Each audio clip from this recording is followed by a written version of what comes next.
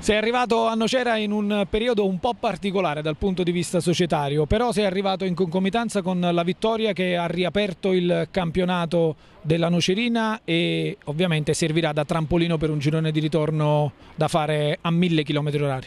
Sì, diciamo che sono arrivato in un momento un po', un po strano, ancora devo un attimo ritrovarmi ecco, sotto il punto di vista societario, però, però sono arrivato in un momento giusto perché abbiamo, abbiamo portato a a casa i tre punti contro il Troina e ora ci prepariamo al girone di ritorno con le massime forze mentalmente e fisicamente. Ecco. Accoglienza da parte del gruppo? No, è un gruppo fantastico, bravi ragazzi e...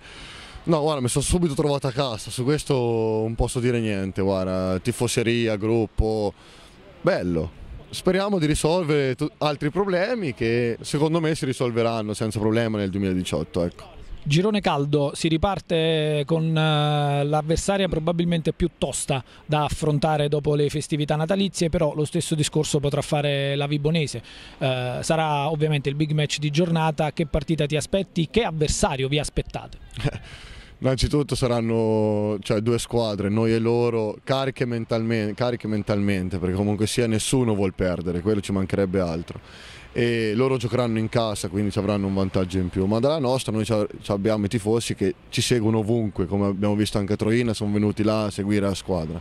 Sarà una bella partita, sarà una partita aggressiva, sarà una partita che si evolverà tatticamente e poi le giocate dei, dei giocatori, quello conterà molto. Punto di vista personale, eh, percentuale di integrazione nelle idee tecniche e tattiche dell'allenatore, visto che ha dimostrato nel girone d'andata, tu ancora non c'eri, che questa squadra può giostrare nella zona centrale del campo sia a 3 che a 2? No, io comunque sia il mister già conoscevo perché l'anno scorso ho giocato insieme all'Aquila, quindi no, eh, le idee sono quelle, lui vuole quello e noi si, noi si, cerca di mettere in pratica quello che vuole lui. Sappiamo benissimo che se facciamo quello che vuole lui eh, porteremo a casa dei ottimi risultati.